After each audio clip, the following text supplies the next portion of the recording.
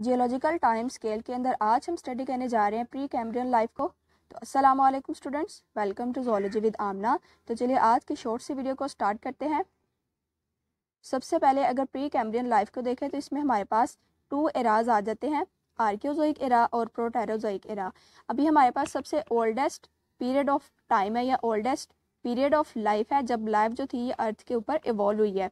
अब इसमें तकरीबन अर्थ जियोलॉजिकल टाइम का 87 परसेंट आ जाता है, क्योंकि हमें पता अर्थ जो है वो तकरीबन 4.6 बिलियन ईयर्स ओल्ड है, और जो कैम्बियन लाइफ है वो हमारे पास स्टार्ट हो रही है 570 मिलियन ईयर्स पहले। इतना जो अंदर का टाइम है, ये सारे का सारा प्री कैम्ब्रियन लाइफ के अंदर आ जाता है। अब प्री कैम्ब्रियन टाइम के अंदर जो रॉक्स ग्रेनाइट रॉक्स प्रेजेंट है, वो हमें दुनिया के हर कॉन्टिनेंट के अंदर देखने को मिलती हैं।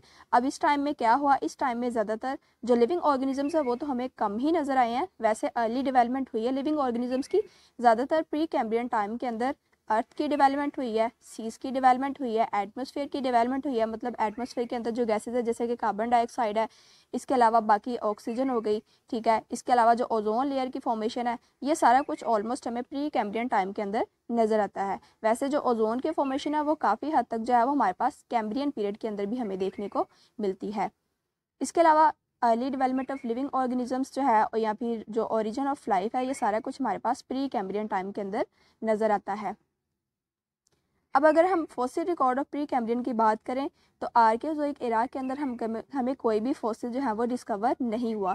सिर्फ़ और सिर्फ़ रॉक्स के अंदर जो ऑर्गेनिक डिपॉजिट्स प्रेजेंट है, वहीं से हम थॉट करते हैं कि आर्कियोजोइक इराक के अंदर जो प्लांट लाइफ थी, वो एल्जल डिपॉजिट्स की फॉर्म में थी, वो एग्जिस्ट करती थी। इसके अलावा sponges protozoans, blue green algae और वर्म्स वगैरह के फोसिस हमें प्रोटेरोजोइक एरा के अंदर मिले हैं। अब ज़ाहिर सी बात है, ये जो फोसिस है, जैसे कि स्पंजेस और प्रोटोजोन्स, हमें पता है, ये सारे के सारे ऑर्गेनिजम्स तो आज के वर्ल्ड के अंदर भी मौजूद हैं।